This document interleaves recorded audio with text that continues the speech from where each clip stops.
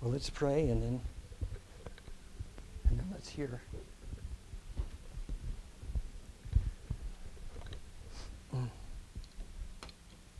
Father, we pray that by the Holy Spirit you would help us to hear your word in a way that was intended to be heard. I pray, Lord, that you would give us a, a deeper, a, a deeper perception of what you want for us. Help us to step out of entanglements and distresses and worries and anxieties, various entanglements, and help us to walk in the light of who you are. Lord, we believe that your word is able to transform. Your word was spoken, and the heavens and the earth were created. Your word became flesh, and there was salvation. And your word abides in us right now by the Holy Spirit, that's able continually to do a redeeming and creative work. And we welcome that work, and we thank you that you hear us right now. And so we have a confidence that when you pray according to your will, that you hear us and that you grant the requests that we ask of you. In Jesus, for his glory. Amen.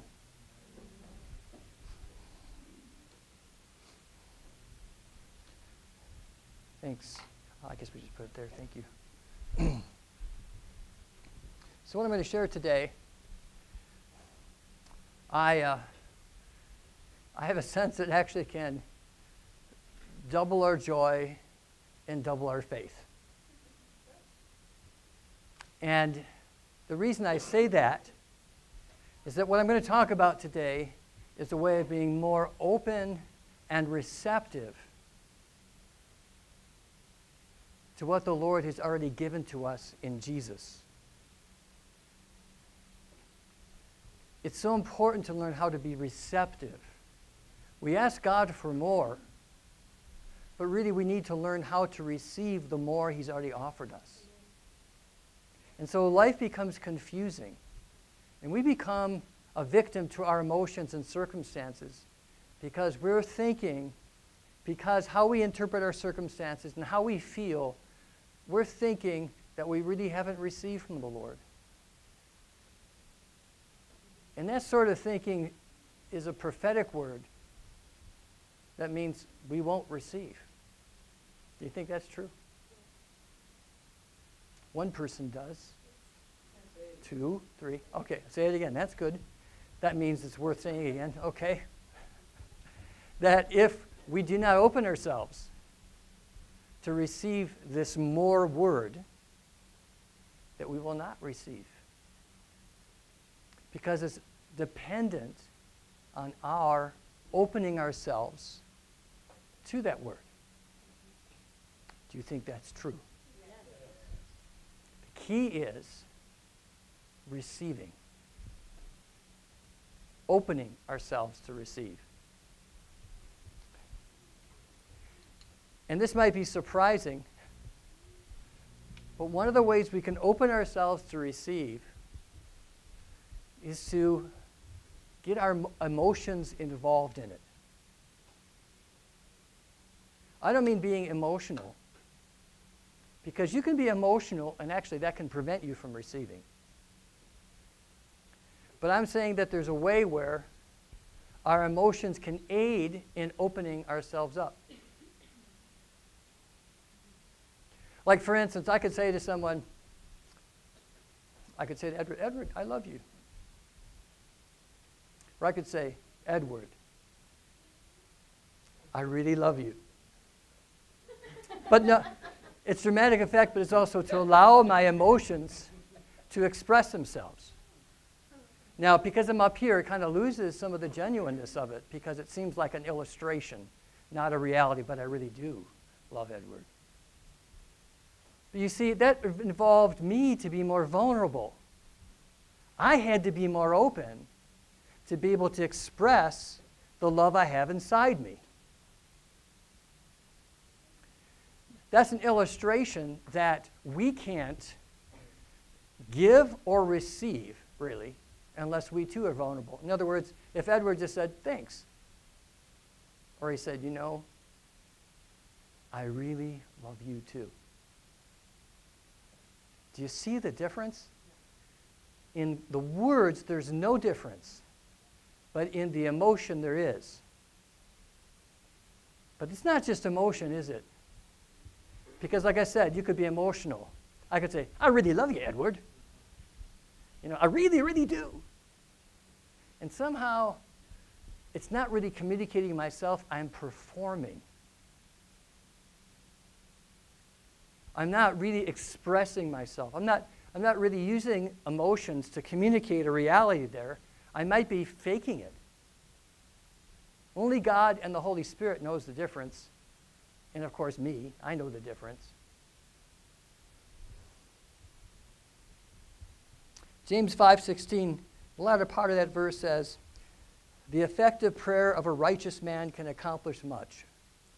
We know that the King James says that the fervent prayer, prayer of the righteous man can accomplish much. So James 5:16, the latter part of that verse, "The effective prayer of a righteous man can accomplish much. The fervent prayer of the righteous man can accomplish much. But really, in the Greek, the word really is closer to energy. So we could say, the man who prays with energy, he, the righteous man, because we're righteous in Christ, right? And that's what it means our righteousness and our standing with Christ. So, this man who can pray with energy can accomplish, that is, express his energy, and many things can happen as a result. Because it's the same word in both cases. Energy is the word. That's just translator's attempt to try to make it clear to us. We can hear the word of God and we can open all our circuits to receive that word, and we can open all our circuits to express that word. We can have the, the, the power of the Holy Spirit in us, alive in us, and we're going to cooperate with that, with our emotions, or we would not. If we use our emotions, if we use our emotions based on the revelation that we've received, who God has shown us to be, what will happen is this. If we receive the revelation with emotion, that is, I'm listening, I'm wide open, I'm ready, all the circuits are poised to hear. Or we can put it this way I am listening in faith, that is, I believe God. I am listening now in the belief of God, that God is. I'm taking a moment now to just receive in faith, and I'm opening up my whole self to receive. Not just my head, but my whole self, body, soul, and spirit. And I'm listening with from an intention. That is, I'm not passive here. It's not like the, like the battery starting to wear out there's fully charged battery right here, right now.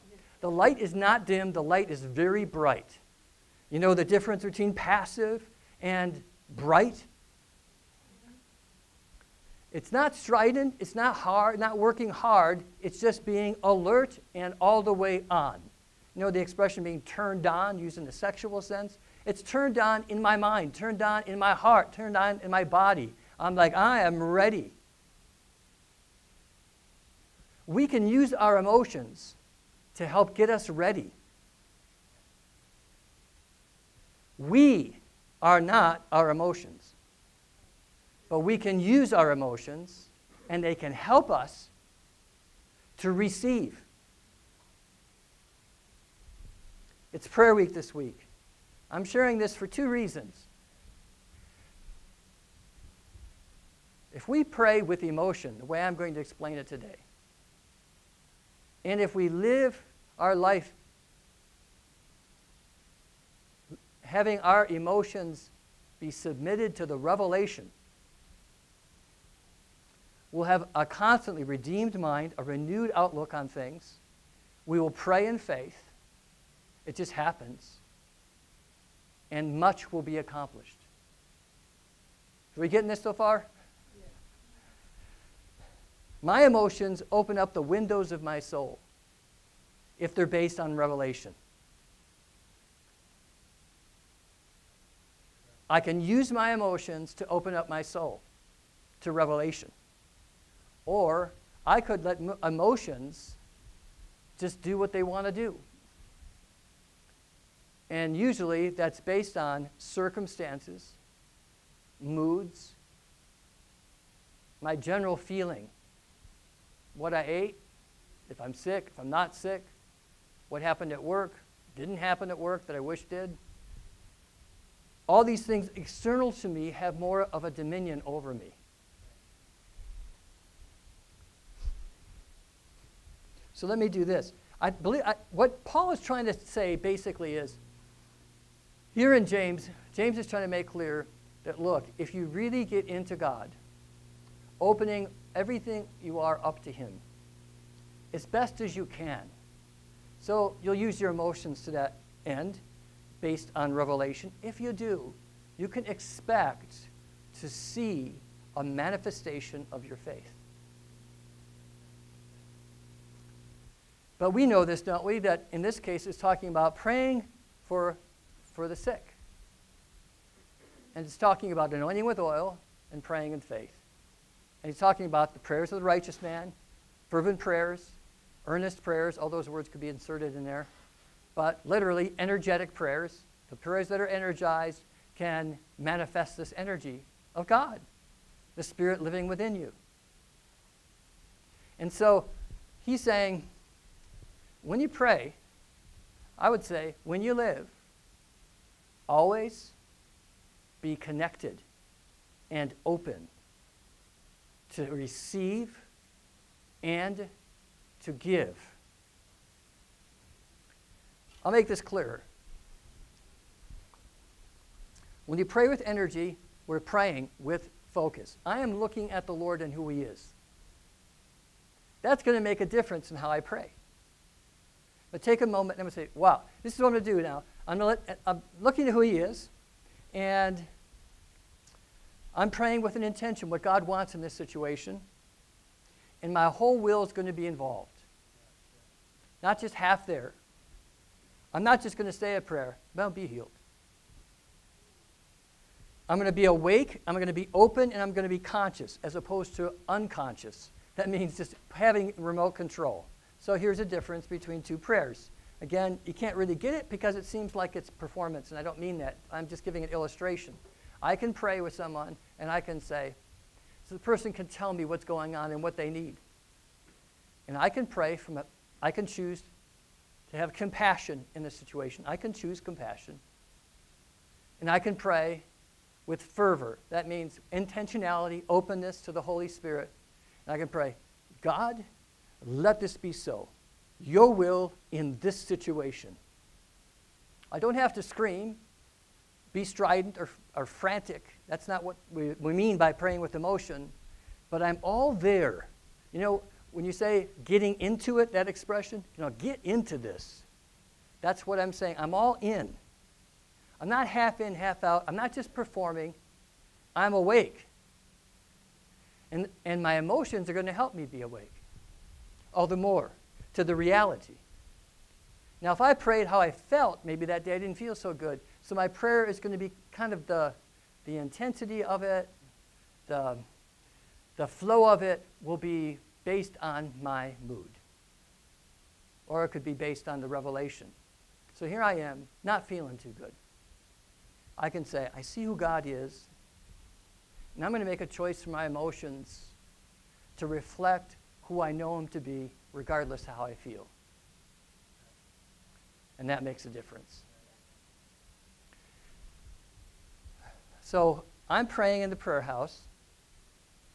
And as I'm praying, I'm saying, God, you're good. Lord, you're kind. Lord, you're generous. And the Lord is, the Lord is telling me, pray this with emotion. What does that mean? I'm saying, okay. It doesn't mean becoming emotional. It's just like, let it work through your emotions. Honor me, express yourself. through your emotions. My emotions are not myself, but they are an expression of myself. Like, here, use this paintbrush and paint something with it. That paint on the canvas is not myself, but what I'm doing with the paint expresses myself. So, in the case of emotion, I can say, God. And now, this is not performance now. I'm trying to let it absorb into my emotion. In other words, put it this way if you got it and if you were really into it, how would you pray?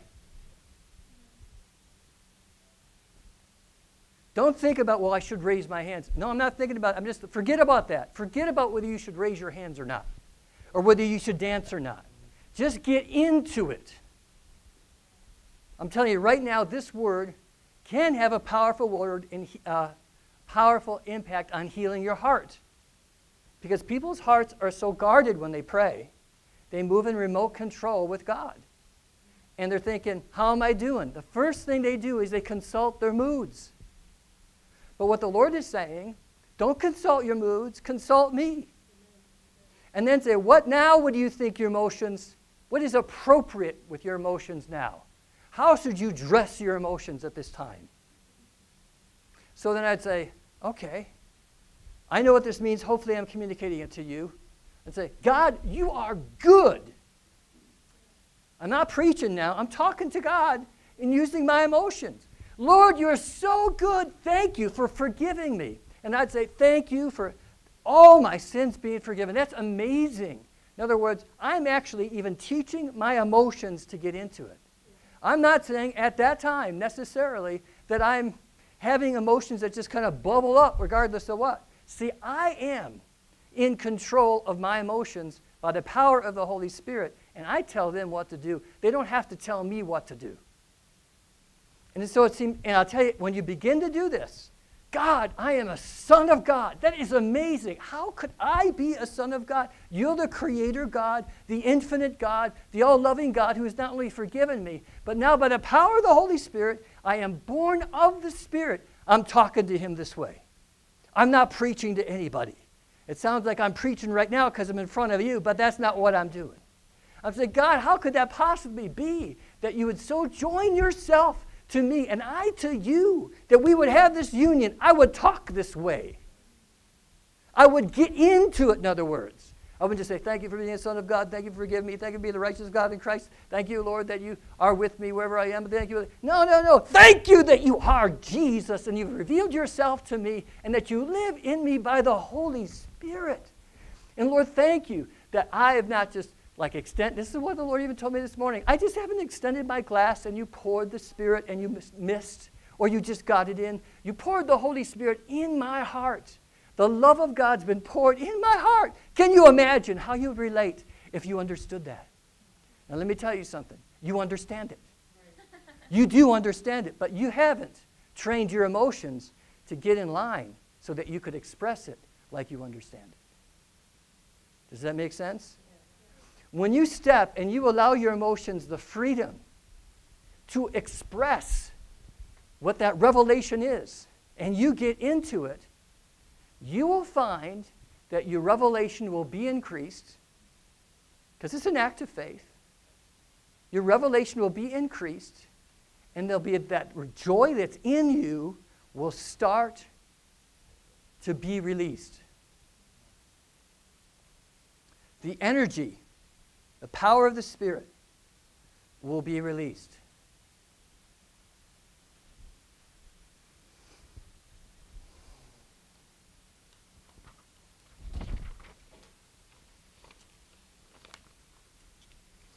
So the word emotions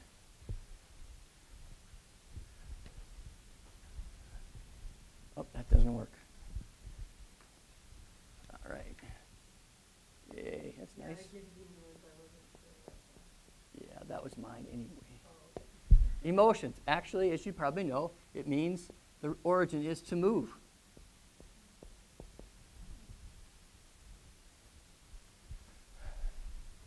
You know what? Another word that means to move, very similar, is motive. It means move. And that's the origin of the word. What moved you to do that? And emotions themselves are a sign of movement. So we're going to use an analogy. Hopefully it helps. So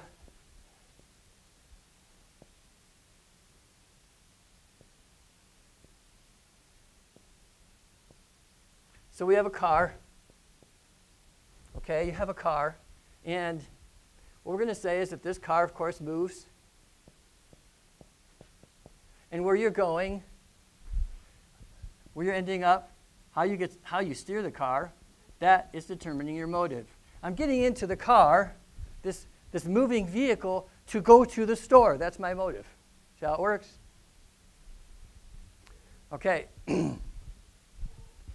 so now I, once I'm in this car, I have to realize this car is going to move me based on my motives.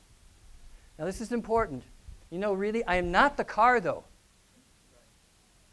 Because sometimes you'll talk to people and just say, Well, what's going on with you? Well, I feel really bad. Is that you? Or is that your emotion? And some people are saying, Well, hello, same thing. No, not the same thing. Hello, back at you. But see, if we think it's the same thing, we will misunderstand the nature of emotions and we will not be able to open ourselves to receive or express the joy of the Lord. So I'm in this car and it's going that way now. What happens? So I don't go in the car and just say, you know, turn the ignition and press on the gas pedal and just say, let's see what happens. And, then so, oh, and then someone sees, there he goes. There I am. And it might be running into trees or stuff like that. Because I'm having a bad day right now. and somebody said, well, why don't you put your hands on the steering wheel? And why don't you look where you're going? Oh, I guess I could do that. I guess I should do that, or I might get hurt. Did you know that if we let our emotions just drive us, we will get hurt? It's not freedom, it's an accident ready to happen. So I, have a, I have a motive in mind, and so I'm moving in towards that motive. Now, a similar word uh, it, it doesn't mean move, but actually it means frame of mind, actually is where it came from, which is actually mood. That's actually kind of a more, it's a verb though, really, and the way I'm using it here. Um, so your mood is kind of like how you're orienting yourself. When most people get up in the morning, they have a mood. And they think, oh, it's going to be one of those kinds of days. Why? Because my moods, my emotions, is who I am. Or you could say, if you found a spider on your shoulder, you wouldn't say, oh, it's a spider day today. That's going to be scary. You just you go like this, don't you? You get the spider off you. Because Yeah. If you need to, you probably will have emotion. So, uh, so you're not going to be dominated by what your mood is, because if you are, you're going to live in fear that day. You don't know where the spider is going to be next.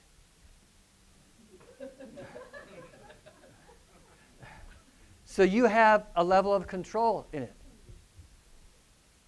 But if you if you see God, if you wake up in the morning and you are going to now adjust how you see things what your mood is, your frame of reference, by who God is to you and who you are to God. And you wake up and you say, God, I thank you that you love me. And you say it with emotion. Now, in the morning, you don't feel like emotion. You feel like, well, this should be a cup of, cup of coffee moment. Sitting back in a lazy boy, thank you that you love me. Is there something wrong with that? No. Nothing wrong with that. But I'm going to tell you that if you get your emotion into it, you awaken your senses and your spirit to receive at a whole other dimension. You don't go by autopilot. You know, they have self driving cars now, as you know. And uh, they say they're a bore because you can't, you know, you're just kind of moving along and you're having nothing to do with what's really going on. It's just pre programmed to where you want to go. But we are pre programmed to go by our moods. And so when I say be emotional, express yourself with your emotions, you're thinking, what? Depression? I'm supposed to give depression to God? No, no. You, you look at the Lord and then you think, what would be the fitting emotional expression of what you just saw? And you think, well, that would be joy. We'll try it on. Oh, that's kind of fake, isn't it? It is reality intervening in your fantasy where mood is the one that has told you what your day should be like and where you should be going and how you should live it. Is that making sense?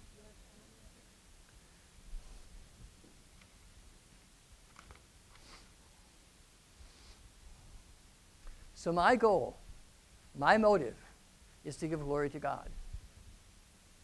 And there's something about myself that we should know about. I know I'm not my emotions. If you give me a drug, I'll have certain emotions. Is that who I am? No. It's been induced by a drug. But if so my, I am not my emotions. You are not your emotions. I am not a car. I am a person. And I decide how to use my motivation to go from one place to another.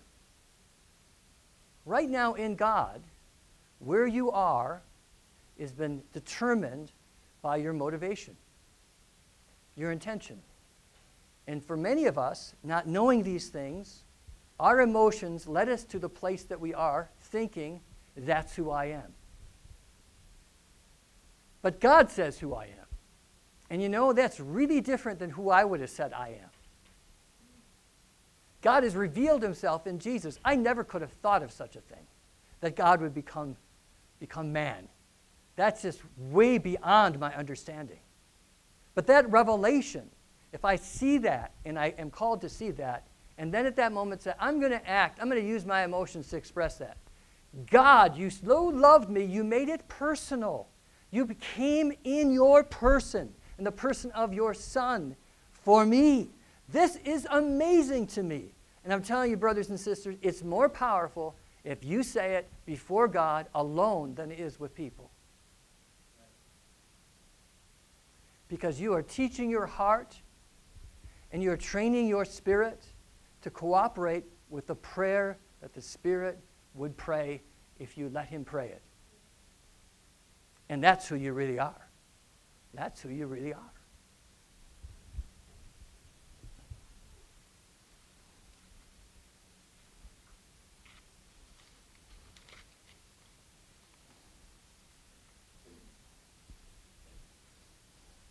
So we open ourselves, brothers and sisters, by becoming vulnerable to the Lord. We, become, we open ourselves by having all our faculties be awake, and emotions can help us a bit if they are especially based in revelation. So, for those who want to, you can join with me in this experiment, okay? You can say, God loves me so much that he gave his life for me. You can say that now. So much that he gave his life for me. Now, if you want, say it with emotion. Say, you say, and I'm not asking you to repeat after me, and you can all talk at the same time. It doesn't have to be the same thing. But I want you to experience what I'm talking about. If you dare, it causes vulnerability, humility, and authenticity. It is training your spirit, your mind, and your will to work together with the revelation that you've been given. And it'd be like, God, you loved me so much that you came in the person of Jesus. Thank you. Thank you. Say some version of that with you right now. Stand up. Stand up. That helps. You don't have to do this if you don't want to do it. I'm just trying to, but I want to give you an experience of what I'm talking about. So just do that. Just say some version of what I just said. God, you love me so much that you gave me your son and you did not hold back. Thank you for that. Thank you for that. Thank you for that. Thank you, Lord. Thank you, Lord, that you've made me wealthy in Jesus Christ. The kingdom of God is mine. The kingdom of God is mine. If you use your emotions, if you open yourself up, that is the faculty of the heart. Did you know that? Of the soul. The soul and the heart is the same thing. Well, God, thank you for who you are. Thank you for who you are. You see what I'm doing? I am using my hands. Now you can say, now lift up your hands. Okay, I lifted them up. Thank you. See, but you see, if you just get into it, you don't have to worry about whether you raise your hands or not. You don't have to worry whether you dance or not. It's just seeing Him for who He is and going and getting into it.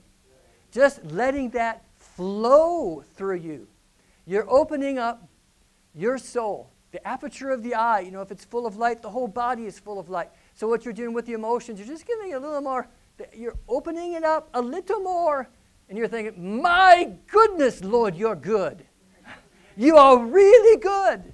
And we know that. And we know this, don't we? We don't, we don't capture it with our words. We never will. But if we step in faith and we give our emotions to it, there's something inside of us that is unsheathed, that is opened up to see in a way you would not see before.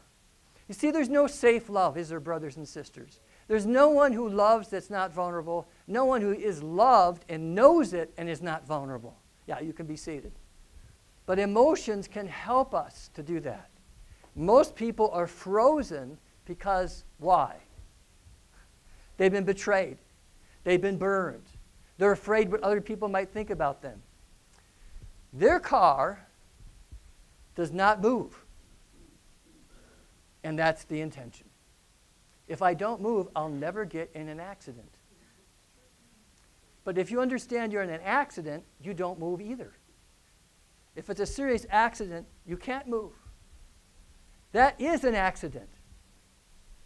It's not a safe place to be frozen, especially because it's in light not of revelation, but just circumstance.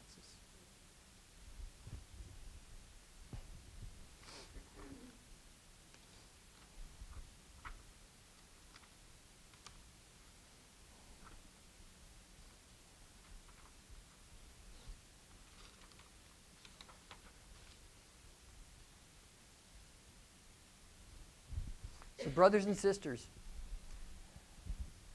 the key thing is to rouse ourselves to be awake.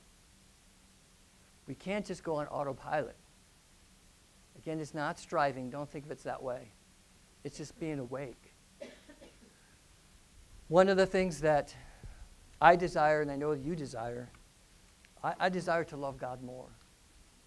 I desire to know His love more and I'm in a place, and God has continued to lead me. This is the work of God in me, not just my will. I, I say amen to it, but it's, it's what I know He's at work in me. I'm into a place that I'll do anything if I can open myself up to Him. Why would I not want to do that? And so many people are letting emotions dominate them so they can't really see the goodness of God. I mean, they know in their heads He's good. But the Lord, really, the Lord does want us to have an experience that He's good, an experience of His love. And you know what that means? The faculties of our emotions are involved. He made them. It wasn't like, well, let's just throw in the emotions too. I mean, I already made my image and likeness, but eh, let's add emotion just, just for fun. It's, like, it's a part of what God redeems in us. And He wants us to experience His joy. Not just say that I'm joyful. That works only if you also give your emotions to that. So this morning, too, in, my, in the prayer time, I was laughing. I went, and some people might think, you know, what's the deal with that, man? Are you, isn't that kind of fakey? I, no, it's not. What it might be is you might notice sometimes the, the rust that's there, because I'm not used to laughing with joy. but but I'm getting more used to it because that's fitting for what I have. In Psalm 126, it talks about that when we have uh, were rescued from the exile, our mouths were filled with laughter and our hearts with joy. I mean, you know what? I'm not in exile anymore. I mean, the Lord has delivered me from death and the powers of darkness. I'm not under the tyrant anymore. I have a whole new life. So, ha ha ha ha. It's like, yeah, but you know, still that doesn't really sound like, you know what? You talk to God about it. I'm opening myself up to it. And you know what? I don't really care about your emotions if they don't eh, if they aren't in sync with revelation. I really don't care. Just like I don't care about mine unless they're in sync with revelation. Because for me to know God, I got to get used to living in revelation. And so what will happen is if you begin to do this, it'll just bubble over in aspects of life. So one day I was trying to I lost something, and it was kind of a frustration. As soon as I realized it was frustrating to me, I went, ha ha ha. Now why do I go, ha ha ha? I go, ha ha, because, look, hey, it's a small thing, so I'm going to laugh. Or, ha ha ha, just God just reminded me that I'm a small thing. It's not a big deal. You go, ha ha ha, because God is with me. And you just start doing that. And it's like, and you know what? Then you laugh that you're laughing. And you get perspective. The Lord wants to gift his people with joy, as we heard even today. It's got to be opening ourselves up, though. We have to, not just our minds, we have to open up our hearts, which includes our emotions. They cannot be kept frozen. Yeah, it will take faith and humility. So what? I mean, isn't that what we're supposed to be about? what other kind of Christianity is there? And so God invites us into this. And if we are to drink from this, we will have our joy and our faith doubled or more. Try it this week. I know, I know it might be a little inhibiting for some people here in this setting, but try to get into it. Awaken yourself. Speak in a way that, uh, and express your emotions in a way that you think is appropriate for what you've received in Christ. And see if you don't get it even more as you're offering yourself that way. Amen.